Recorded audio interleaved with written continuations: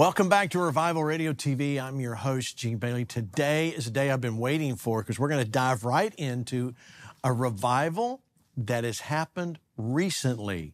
Some of you remember what had happened. You may have heard rumors about stuff going on in North Georgia. Well, today, Pastor Todd Smith. Pastor, thank you for joining today. Now, I want to go very slow. I want everybody to understand what the process of what happened there at your church in Dawsonville, Georgia, which is about an hour north of Atlanta, right? Yep. Okay. Uh, so let's kind of walk through. First off, give us a little history of yourself. Like you went to school here in Fort Worth. I did. I went to Southwestern Baptist Theological Seminary, uh, left there, pastored a Southern Baptist church in the North Georgia area. Uh, four and a half years into that, I got hungry for more of God. Started reading the scriptures without my um, my theological lenses on. You know what I'm saying? My Baptist. So did something push you to that point, or you just it was just came naturally? I just started. I, literally, I just started reading the Bible and saying, why why aren't we seeing things in my church that they experienced in the Book of Acts? That really was the starting point, and and I said, Lord, I'm taking off my Baptist lenses and I'm going to read the Bible as, as, as if I just got saved. And that's when it became um, real to me that there was more of God. And shortly thereafter, I experienced the baptism of the Holy Spirit and everything changed. So take walk us through that. What happened when you got baptized in the Holy Spirit? Because this is Yeah. this is a big deal. It's a huge deal. I mean, it's a big deal that it happened, but it's a big deal that uh, Southern Baptist pastor. I mean, that's gonna that's gonna change a lot of things at your church. Oh, it, it did, and and I was pastoring one of the fastest growing Southern Baptist churches in the state of Georgia at that time, and and so I I just got so hungry and thirsty for the supernatural, but not just the supernatural, just more of Jesus. Just saying, Lord, I want to see what you did in the book of Acts and the Gospels manifest in my church, and so it culminated in a a prayer meeting that I went to. I went to a Pentecostal prayer meeting, and that's the last place that a Southern Baptist pastor should be.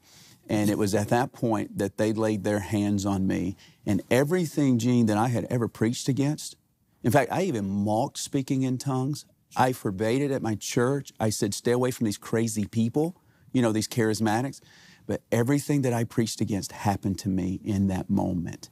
And my life forever changed. I remember falling back in the Holy Spirit and speaking in tongues, thinking in my natural mind, my wife's going to kill me and my deacons are going to fire me.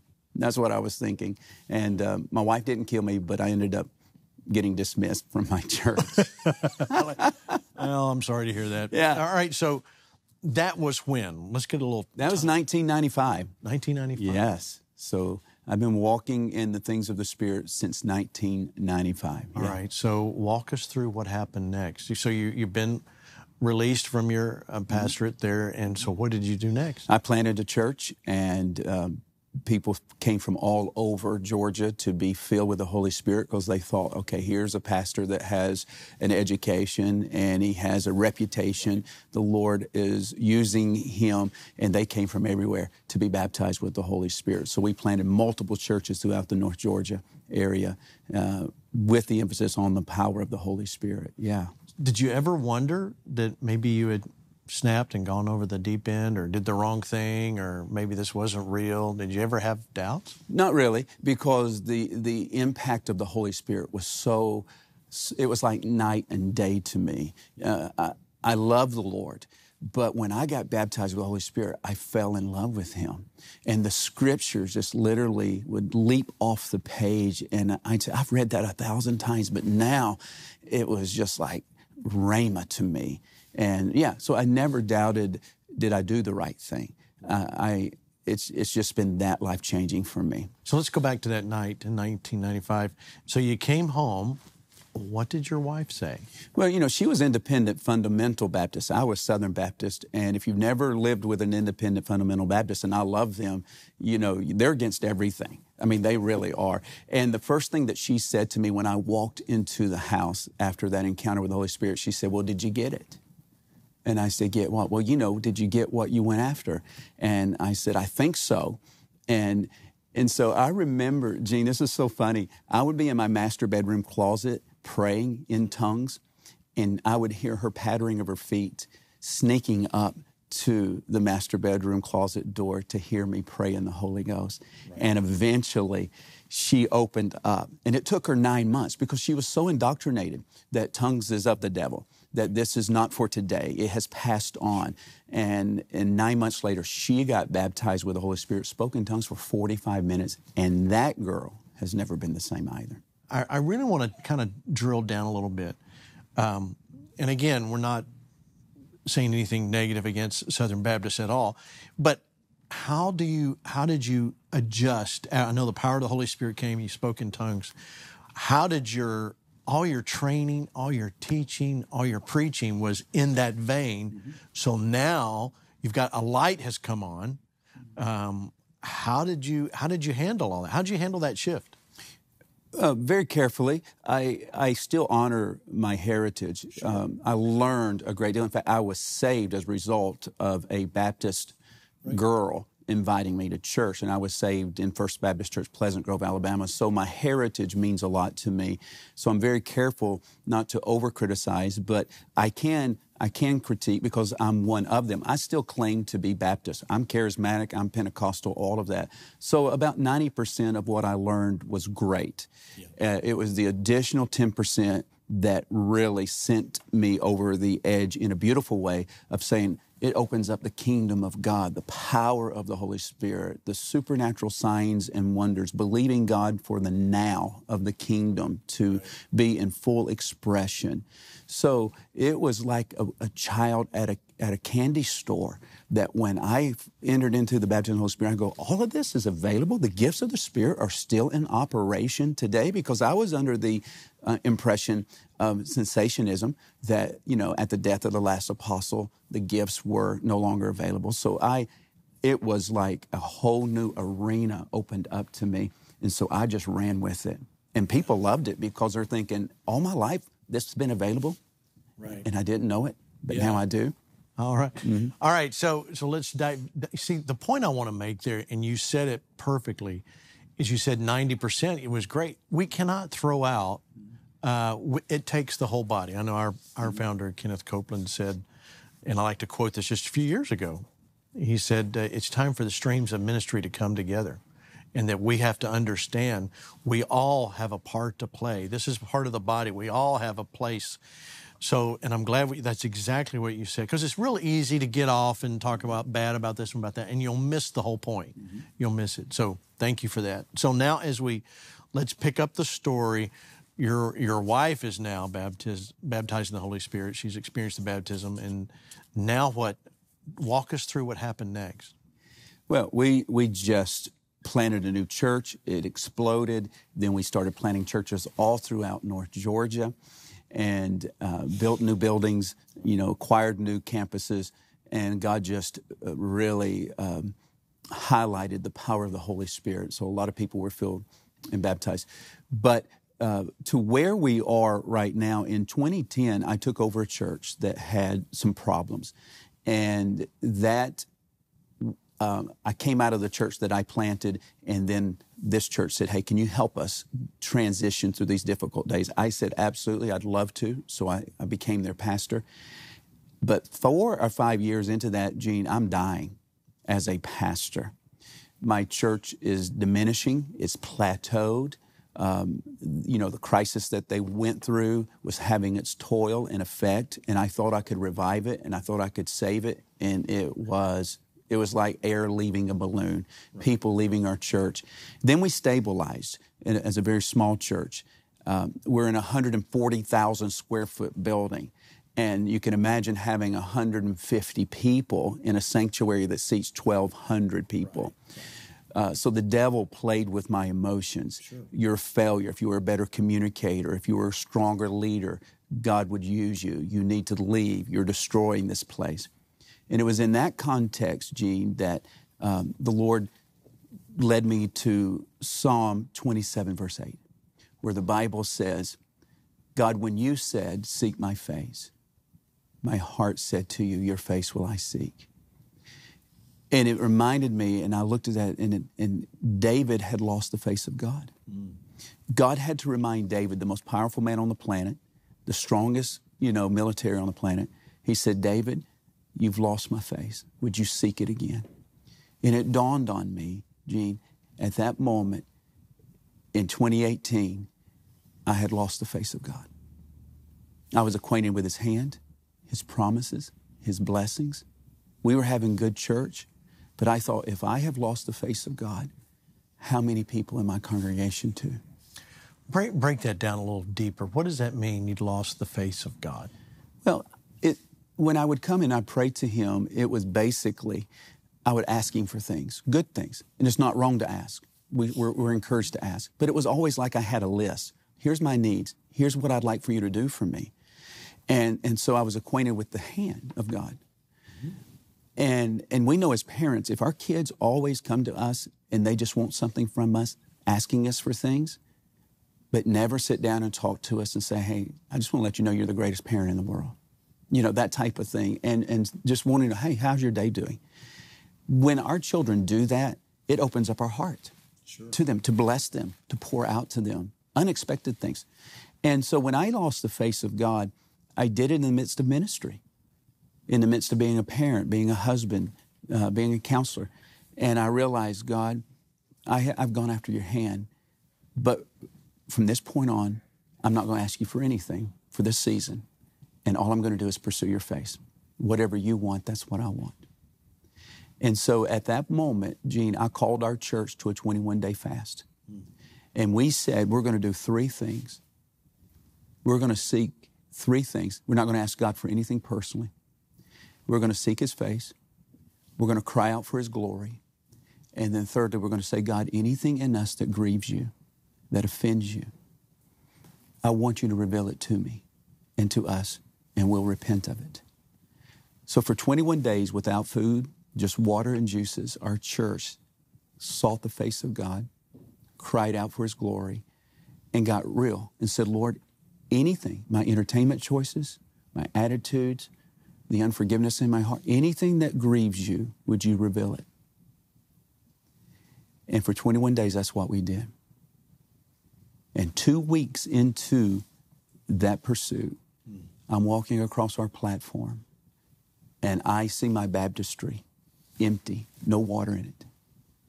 But for eight seconds, I saw it full of water and a strip of fire on it. Now, I'm Baptist. We don't have visions. right. You know, if we're, right. if we're fasting and we have a vision, it's of a hamburger or something. Sure. You know, it, it's not of it's not supernatural. But I saw the first vision I ever saw in my life. My baptismal pool, empty, full of water, with a strip of fire on it, two and a half to three feet wide from front to back. Now this is in what year was this? This is 2018. 2018. 2018. I see this as, as, as it is as real to me as I'm looking at you right And this now. is in the middle of your, your message? No, in the middle of a time of prayer oh, and fasting. Prayer. Yeah. Okay. I'm fasting and I'm praying. I'm walking across our platform and I see that baptismal pool. Wow. And I hear the Spirit of the Lord say to me, Todd, I'm going to baptize people with Holy Spirit and fire. Had no idea what it meant. Now, as a good Baptist, I thought my new converts were going to have an incredible time in the water that they'll never backslide. And two weeks later, Gene, two weeks later, the glory of God falls in our sanctuary. Literally, the weight, the kabod of God enters our sanctuary. And ever since that moment, we've been in revival and baptized over 33,000 people from literally all over the world. And they're encountering the Holy Spirit fire in their immersion. Absolutely remarkable. Yeah.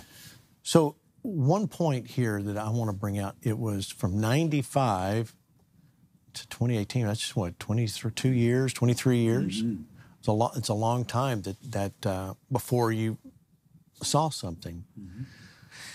So, when people wonder, before we pick up the story, when people wonder if this is real, uh, I want you to tell me what happened uh, when you saw that and you thought, wait a minute, what am I seeing? Basically, I've never had a vision before. What went through your mind at that point? Again, I'm thinking my new converts are going to have an incredible experience okay. because I understand baptism as a Baptist. It is a it is a symbolic expression sure of their new commitment to Jesus, and it's a public display, like putting on the wedding ring, and that's what I thought. But when the glory of God sat down in the room, we started spontaneously baptizing people the following Sunday. So it didn't happen that night. Mm-mm. It was the next Sunday. Yeah. Okay. It, and so we, we said if you're backslidden away from God and you want to renew your commitment to Jesus, come to the water right. and, and just be immersed again. And, and, not nullifying their first immersion as their new new birth immersion, but this is just like coming to the altar a second time, third time. Just come and just say, "Hey, I'm distant. I'm away from God, and I need I need to make a public display of that." Well, all of a sudden, a man gets into the water to assist his mother getting baptized. He asked me, he said, That's my mom getting baptized. Can I walk in the water and help her? I go, Sure. He walks in with psoriasis all over his body, up and down his arms and on his legs. And while he's there, he says, Can I get baptized? They said, Sure. They baptize him. He walks out of the water and he looks at his arms, and the psoriasis had melted off of his body, off of his legs, off of his arms and he said, Todd, look at my arms. At that moment, it dawned on me that what God showed me with these baptismal waters was more than just a um, new birth. Yeah, yeah, but it was an encounter where God is going to meet his children in multiple ways through multiple expressions. We've seen people with drug addictions literally feel the drugs leave their body, come through the pores of their body as they're being immersed and coming up out of the water multitudes of people, as soon as they're baptized in the Holy Spirit and fire in that water, come up speaking in tongues. Mm-hmm. We watch blind eyes open, deaf ears open, legs grow, medically verified, because that's what we love to do. We love to get things medically verified. Show me your condition before, show me the x ray before. Now let's look at what's happening in your body today. So let's go back to the gentleman with psoriasis on his arms when he showed you his arm, what, you know, obviously you're excited about this. Did, is, is, that what happened with the congregation? Did you talk to them, show them? Yeah. All of a sudden, it, it exploded. Now right. there's this small little church in North Georgia barely trying to make it. Then word begins to spread through our region. Hey, there's this little town called Dawsonville, Georgia in the foothills of the Appalachians. God's meeting people in the water. And the beautiful thing, Gene, about this move of the Spirit, it's not personality driven, okay? It's nameless and faceless. And I think, Gene, what's happening in America right now, God is God's going to move in this country in a powerful way. There's going to be revival, but He's going to find some people that don't want any of the accolades that don't want any of the glory. They simply want Jesus to be able to do what Jesus does. And so it's nameless and faceless. After 33,000 baptisms, it's still, glory to God, nameless and faceless. God gets all the credit. He's the one. Three seconds in the water changes everything for people. Yes. And we're going to talk uh, next week, we're going to kind of dive into some of the uh, actual miracles that happen. But let's, let's pick up the story um, where that ha- that miracle happened. So did suddenly you said it kind of the word spread. Obviously now you you got more people coming to your church, right? Oh, absolutely. Not only coming to the church, but coming to the Sunday night service because we do the immersions on Sunday, Sunday night. night. My Sunday morning service stayed the same. But on Sunday night, people from everywhere, from all over the country were, were coming. And now, Gene, this will blow your mind. People would get there at four in the afternoon Doors would open at 4:45 for a time of prayer for 1 hour. And then when we would have the worship and the preaching, we would say, hey, if you want to be immersed tonight, if you want to experience God in the water, to be baptized in the Holy Spirit fire, get in line.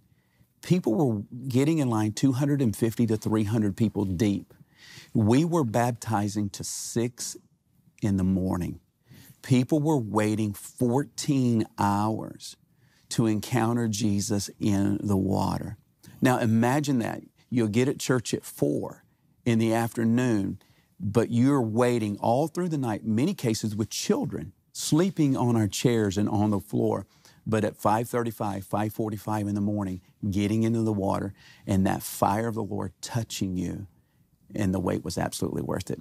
Yeah, yeah. I, I can, boy, Mm. It's exciting just hearing you talk about it. Well, that was 2018, and things have it has grown. Has there been any ebb to what's uh, what God's doing in the water there?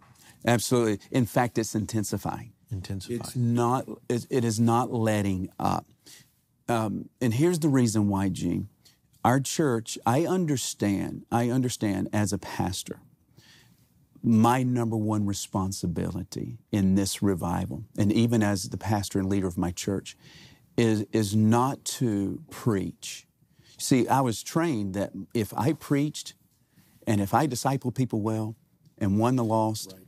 and if I married well, buried people well, did all the church pastoral things well, my church would grow. And it did. But I have come to understand, and people may disagree with this, but I, I believe it to be accurate. The number one role of a man of God, woman of God, pastor, is not to preach.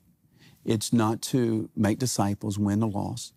My number one role is to host the presence of God. Yeah, amen. Okay? Now, with that, people go, what does that look like? Well, creating a culture in my own heart and in my own walk with Him that God is attracted to, that I'm, I'm quick to repent. I remain in a broken and contrite state with Him because He says, I, I am, He says, there's one thing I look for. He, this is what He said in Isaiah. This is the one thing I look for a man or woman who has a broken and contrite spirit. Yeah. And He says, I will revive that individual. Mm. So I have to create that culture in my spirit and in my life. And then my, my top priority is to create that same culture in my church.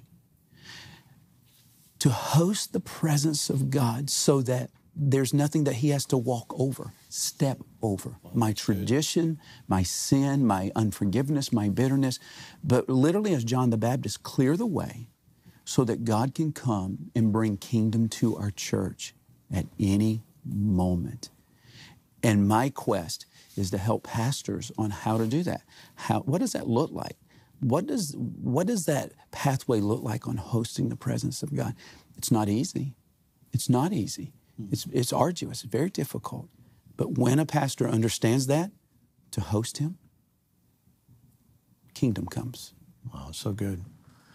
Well, I think right now we I need to let you talk to the people that are listening and uh, they they're going this baptism of the Holy Spirit. I've heard it in a different way, and uh, there are doors that are open just because of you sharing that testimony. So I want you to lead the people. Look at that camera and yeah. pray, lead, whatever you need to do, and help people receive baptism Holy Spirit. Well, I want you to know that the baptism of the Holy Spirit is for you. It's not just for a select group. So if you're born again, the baptism of the Holy Spirit is yours. God wants you to have and encounter this. But there's several things that are going to happen. I'm going to pray for you. And at the moment of uh, me praying for you, I'm going to say, be filled with the Holy Spirit. At that moment, the Holy Spirit's going to come upon you. But then you're going to begin to speak in other tongues. You're going to begin to pray in the Holy Ghost. Now, I want to say this. Praying in the Holy Spirit is for every born again individual. Do you know that Mary, the mother of Jesus, spoke in tongues? The Bible says in Acts 1:14 that she was among the group in the upper room. And in Acts 2, and they were all filled with the Holy Spirit. Every disciple Jesus had spoke in tongues. The writer of two thirds of the New Testament spoke in tongues. And he says, I wish you all spoke in tongues. So here's what's going to happen you're going to connect your tongue to your spirit. All of your life, you've been praying from your tongue to your head and to your head and out of your mouth. Paul says, when I pray in tongues, my spirit prays. So you're going to connect that to your spirit. And I'm going to pray that the Holy Spirit falls upon you. And at the moment when I give that command of faith, out of your belly begin to speak, no longer in English, no longer in English, but that spirit language, which is going to come forth. So, Father, I thank you that right now, that people all over the world are going to experience the power of the Holy Spirit like I did when they laid their finger on me, on my forehead. The very same encounter is coming upon you right now. Say these words Say, Jesus, here I am. I ask you to cleanse my heart, forgive me of my sin, and I'm ready for everything that you have. I ask you for the infilling of the Holy Spirit. I ask you to baptize me now with your power. I receive everything that you have for me. By faith, I will be filled and speak in new tongues in Jesus' name. Now, as the Holy Spirit is falling upon you, It's not an emotion, it's not a feeling, but by faith. When I give this command, be filled, I want you to begin openly speaking in your prayer language. Don't hesitate. Don't delay. He's coming right now. It's already, it's already swelling up on the inside of you. You feel it. Thank you, Lord. Thank you that you're doing this. Thank you that you're doing this. All over the world, thousands upon thousands of people are being filled with the Holy Spirit right now. One, two, three. Be filled with the Holy Spirit. Be baptized with the Holy Spirit. Now, out of your belly, begin to release that. Begin to speak it. Connect your tongue to your spirit, man. Don't worry about what it sounds like. It may be just one syllable. Speak it right now. Lord, give them more. Give them more. Fire of the Holy Ghost come upon them right now in Jesus' name. Don't stop. Keep going. Keep going. Yes, Lord. Thank you. Thank you, Lord Jesus. There's someone right now driving down the, the road. You're speaking in tongues for the very first time. Keep going. Don't worry about what it sounds like. You have to pull over on the side of the road. Release this supernatural ability to communicate with God, the perfect will of God. Every time that you pray in tongues, you pray the perfect will of God. Amen. Praise God. Amen. Amen. Amen. And I want to say, there are those that you feel like you need to, a little more help and you want someone to pray with you. The great thing is you need to be able to testify, talk about what God's done. Call the number right there on your screen, 877 291 6297. Let someone, there's a qualified prayer minister on the other end to pray with you. We want to send you some free material, absolutely free, help you in your walk, understanding what just happened. Uh, so call the number or you can go to the website for more information. We are here for you, and that's why you're there. So thank you, Pastor Todd. We're going to pick this story up next week. But before we go any further, I want to mention his books. Now, I have not read this one, but I started reading God's Glory. And this is what happened. I heard about the revival, and I'm and I got um, your publisher, Destiny Image, actually sent me this book, and I started reading. And I called Gary and said, "Let's get. I want him. I want him uh, on the program. So thank you. How can people get more information about your books? Well, they can go to kingdomready.tv, kingdomready.tv, get it there, or from Amazon. And they're available at Amazon. Yeah. So do that. And stay with us next week, part two. We're going to talk about some of the miracles and how to be in that secret place. Thanks for watching. See you next week.